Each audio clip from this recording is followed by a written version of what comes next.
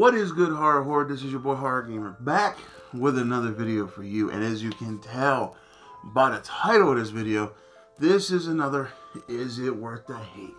And as you can see by my right here, I have a special guest, Cassie the Horror Hound. She decided she wanted to be a part of the video today, so there she is. Alright, so in this episode of Is It Worth the Hate, we're going to be exploring something a little different. Um, it's a found footage exorcism movie, kind of. And, well, before we get into that, just know that your boy Horror Gamers, Is It Worth the Hates have spoilers in them all day, every day. So, if you haven't seen this movie, pause this, go check it out, come back, let me know in the comment section what you think, whether you believe it's worth the hate, whether you, you know, you don't, whether you enjoyed it, whether you hated it, whether you agree with me, or whether you think it's full of shit. So, with all that being said, anything beyond this point of the video, it's on you.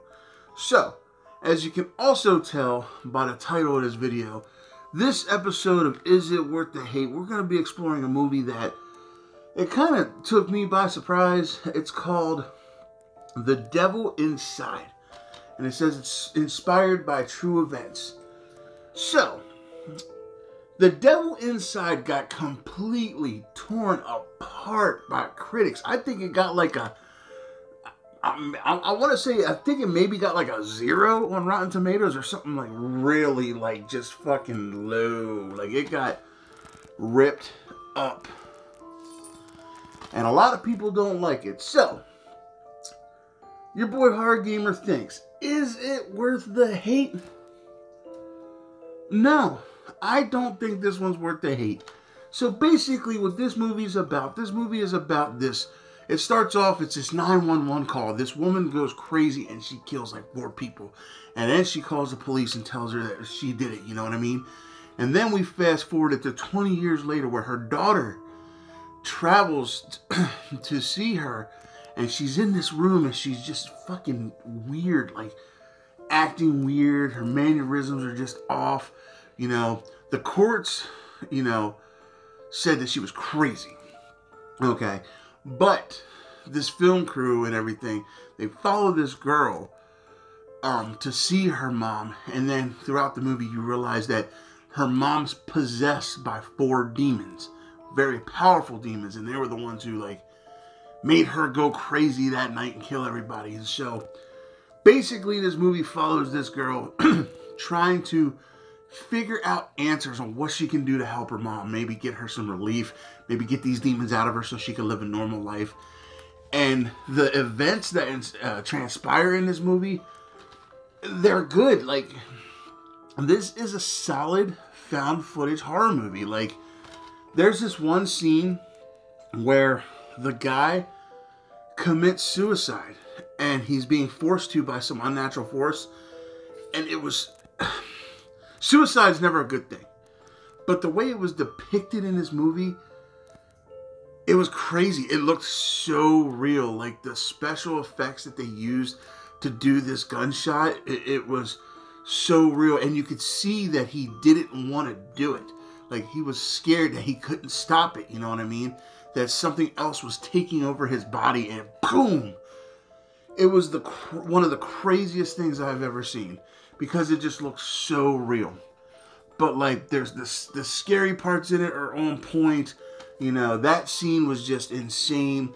The ending's twist is a little, it's okay. It's not the greatest, but for it to get the IMBD score and the uh, Rotten Tomatoes score that it did, I absolutely 100% have to disagree.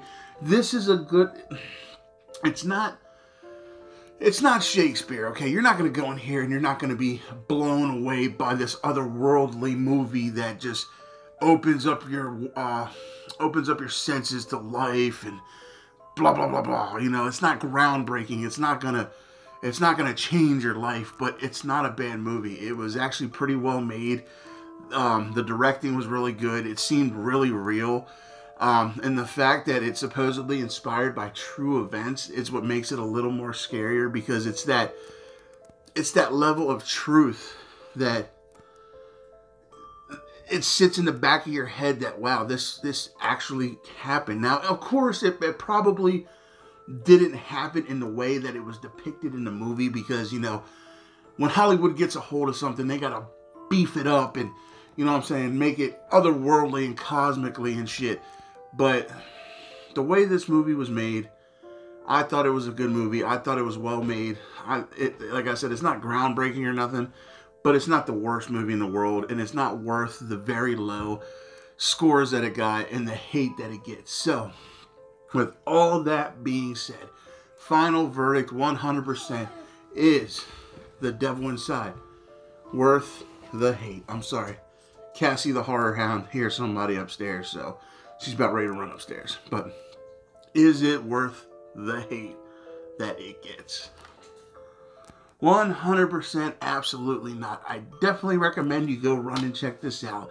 You could probably find it for like a buck somewhere at like a local Dollar Tree or some shit and, you know, get it for like a dollar. So, definitely I recommend you check it out. Like I said, if anything, it's what your boy Horror Gamer likes to call.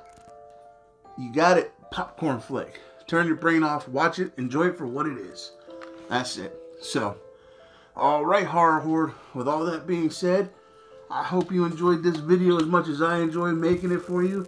And don't forget, if you haven't done so yet, hit that subscribe button along with that dingly ding ding button. That way, every time your boy Horror Gamer throws up one of these, is it worth the hates that you're always in the know? And also, while you're at it, run on over to the Horror Gamer Patreon page and see what kind of awesome perks you get being a patron. Because I have two tiers, and let me tell you something. Every penny that is made from Patreon comes right back to the channel. That way I can make better content for you guys. So, there's that. And also, after you're done with that, head on over to the Zine Network and see what we got going on over there. A bunch of us creators got together and created something for everybody. It's a little something for everybody. So, all right, Horror Horde, with all that being said, I love you guys. Thank you guys. And until next time, this is your boy Horror Gamer saying, as always, don't fear the darkness. Embrace it.